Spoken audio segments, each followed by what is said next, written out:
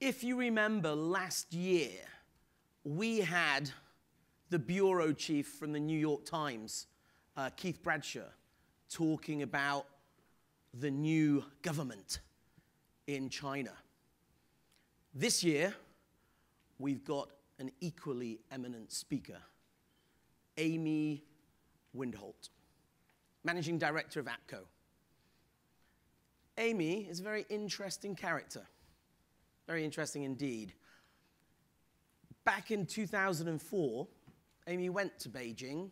She went to the Beijing Administrative University to teach officials from the Chinese Communist Party, having worked for the US government for a number of years. I had a chat with, uh, with, with Amy just now. She assured me, ladies and gentlemen, that she's not a member of the NSA. She is not a US spy. I don't think there's any listening devices in this room, Amy. Thank you.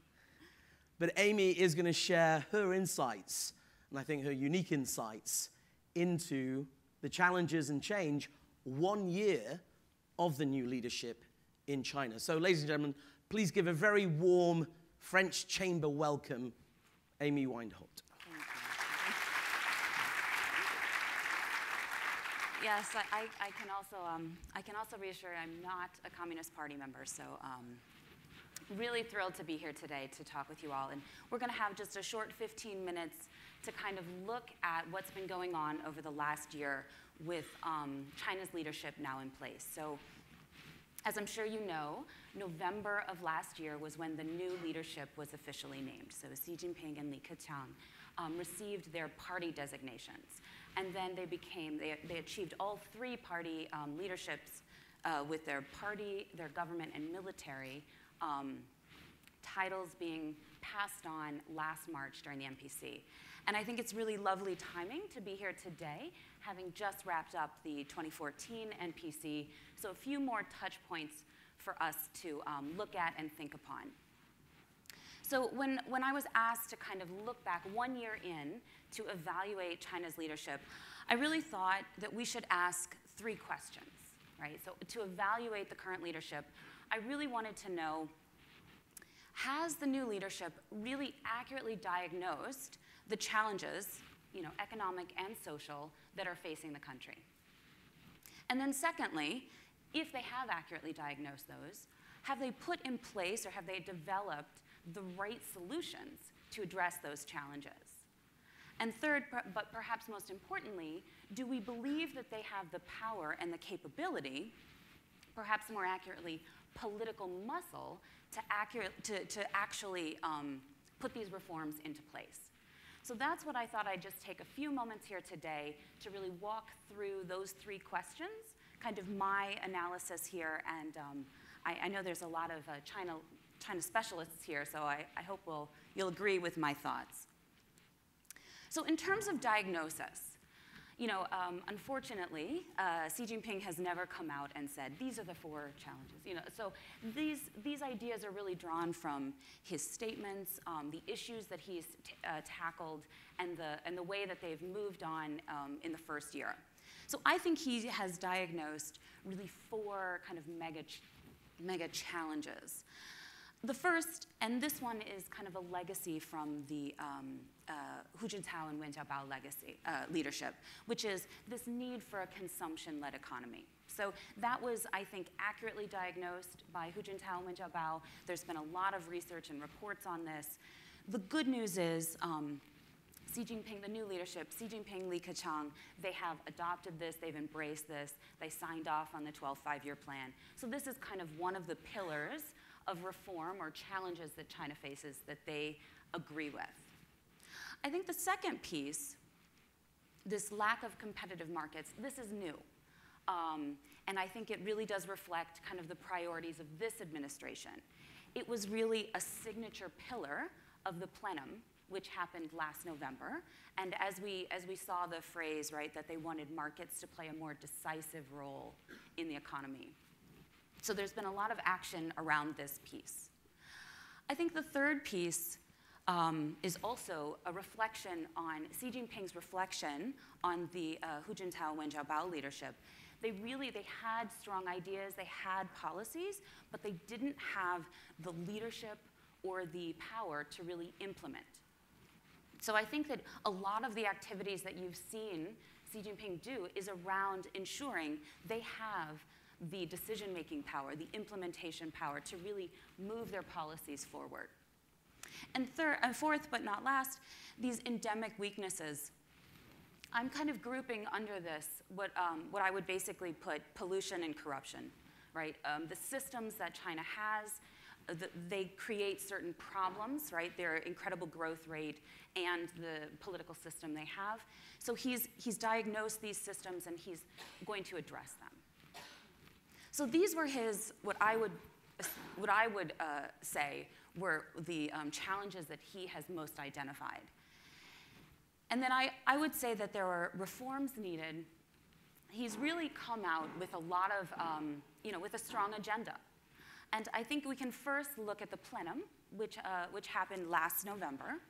And, you know, I would look at the, the leadership that came out of that was really a mission or a vision statement and a to-do list.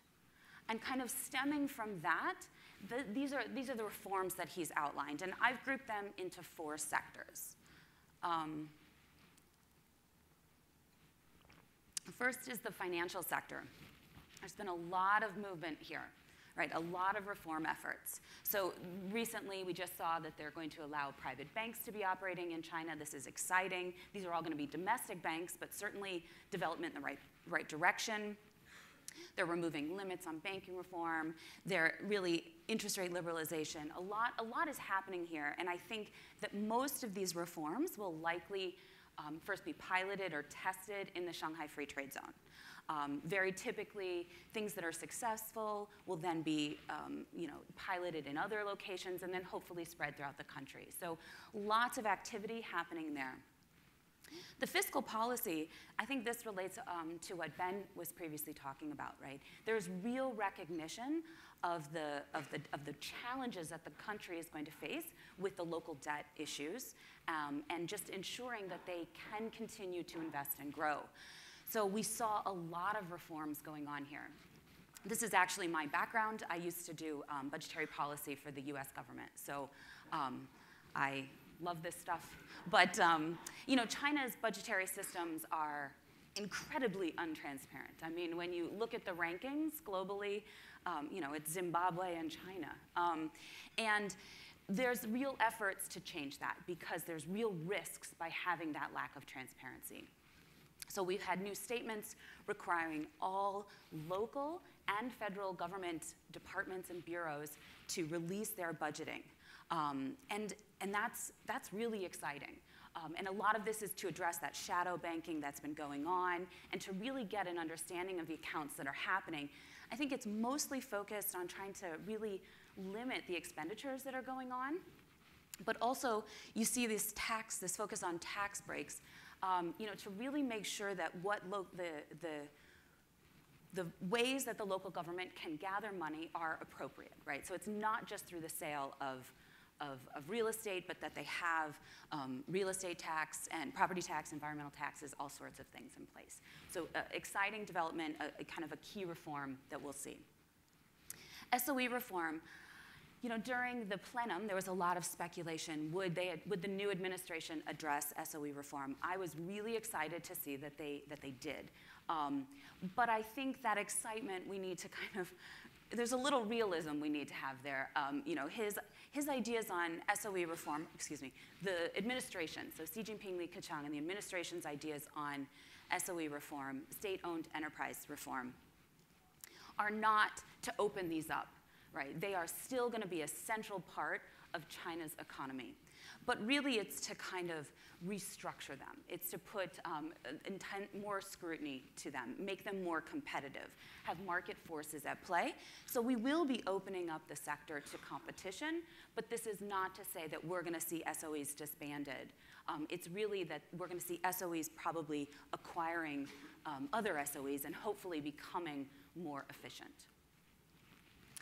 And maybe last um, but not least, and I think this is maybe really exciting for foreign um, multinational companies, is this emphasis on um, reforming the market entry procedures. So there's been a lot of statements about making this easier um, and more accessible.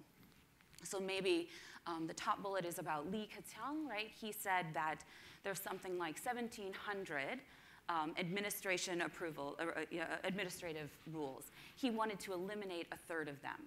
And I think the recent count was that more than 400 have actually been eliminated.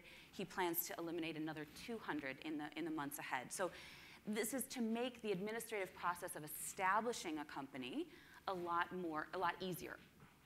But in addition to the administrative processes, they're actually lowering barriers to entry. So capital requirements, things of this nature, um, will be uh, reduced so that to, to, make it easier for companies to come in, and not just foreign, right, domestic as well, but it's really to improve those processes. Um, and, and again, in the Shanghai Free Trade Zone was a nice pilot for this. There was a shift um, in, in from a, a, positive list to a negative list. And, um, and what that means is that previously there was a list of all of the um, sectors where you were allowed to operate. And now they've shifted that to be okay, everything is allowed, but now except these sectors are not allowed. Now, there's been criticism because they're essentially mirror images of each other. um, but the mindset is actually an important shift, which is now aligned with the global mindset that said everything is allowed except for these spaces. Whereas the previous mindset was saying nothing is allowed except for these. So, um, so hopefully we'll start to see items removed um, from the disallowed list, but, um, but it's, it, is a, it is a shift and a realignment with um, global best practice.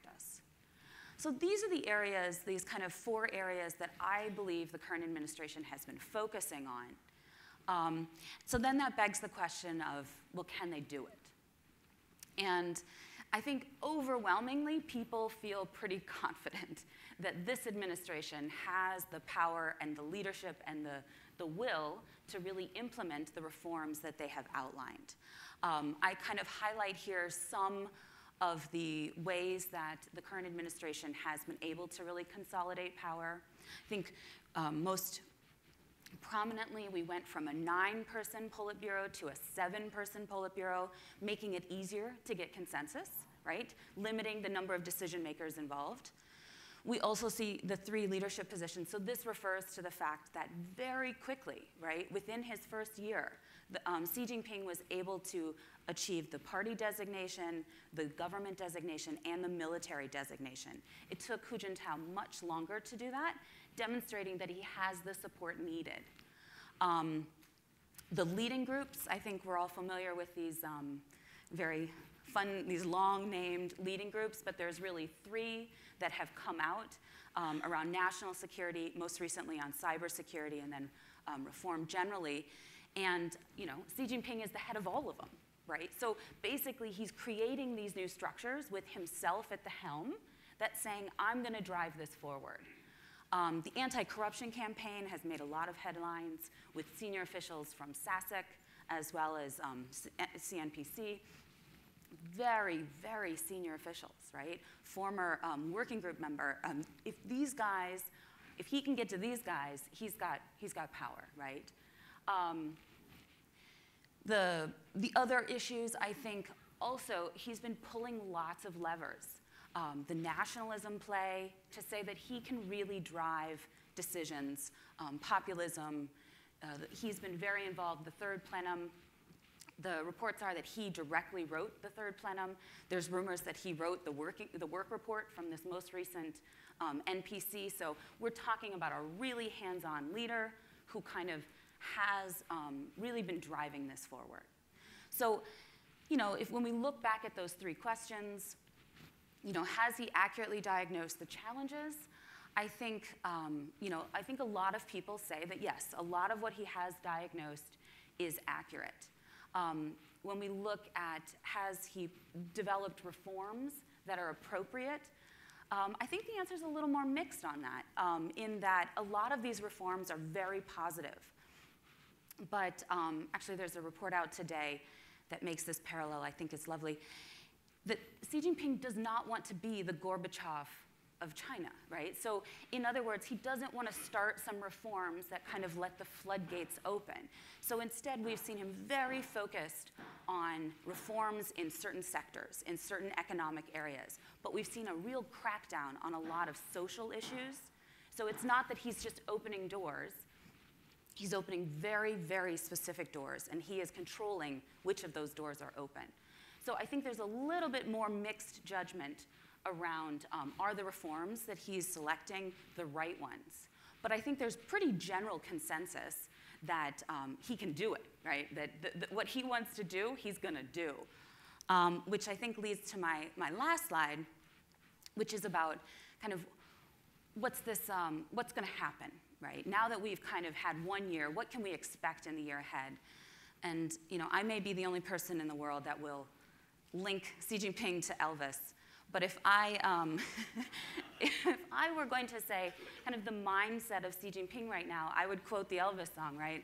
A little less conversation, a little more action. Um, I think that we've seen the last year is setting all the groundwork. He's defined his agenda. He's detailed his reforms. He has his to-do list, and he's got the power to put it in place. So we're going to have a really exciting year. I think um, Ben was saying there's a lot of, this is an exciting place. Um, not all of these changes are going to be good, but I think they're certainly not going to be easy. Um, there are opportunities, right? We're going to have easier market entry for companies, both domestic and foreign, um, easier administrative processes. This, so hopefully creating a business is going to be smoother, including new um, opportunities, right? Opening up previously restricted sectors. But the challenges, there's going to be some big challenges here. Um, I think we're going to see ongoing policy change. It's going to be hard to stay current on what the new initiatives are and how they're going to impact you. So I think it's going to be a very dynamic year. I think the anti-corruption campaign is going to continue. And foreign multinational companies are easy targets, right? They're not the only targets, but they are often easy. So I think it's really, it's going to be really important to have a robust understanding of what's happening in your firm and the, and the potential threats that you face. Um, the antitrust enforcement, I would say th there's been an ongoing effort over the last year, and I think it's been, you know, maybe um, disproportionately affecting foreign multinational sectors, or, or sec, uh, foreign multinational companies, or in sectors where foreign multinational companies are dominating. So I think we can see more of, more of that coming up. Nationalism is always a challenge, I think, when you're operating, when you're a foreign company operating there. I think you're going to see much more of that in China. And you know, the ideal is that the state sector, with these reforms that are in place, will be re-energized, will, you know, will be more competitive. So you could be facing a more dynamic um, uh, competitive landscape there.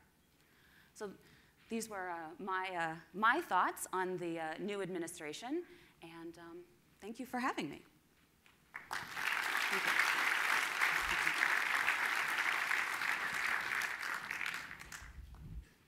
Thank you. Thanks, Amy. That was excellent.